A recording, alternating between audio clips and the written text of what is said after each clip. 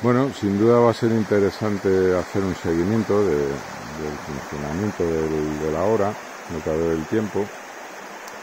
Ahora en principio también tenemos una impresión porque el caudal es todavía bastante escaso y bueno pues el río tiene que, tiene que ir cogiendo caudal. Eh, claro, si hay, si hay precipitaciones, tiene que haber momentos de crecidas y bueno, la verdad es que va a ser muy interesante seguir el proceso y bueno, pues ver cómo va, cómo va evolucionando, Luego tenemos también el seguimiento biológico del funcionamiento de la permeabilización.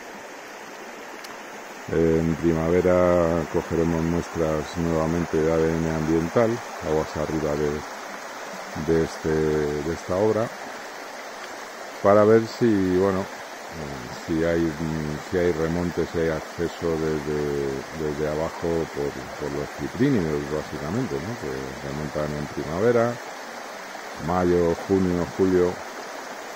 Y bueno, pues eso va a ser interesante. Quizá si todo va como esperamos que debería ir, pues tal vez si no está primavera, quizá tal vez la siguiente, todo depende de cómo se presente el, año hidrológico.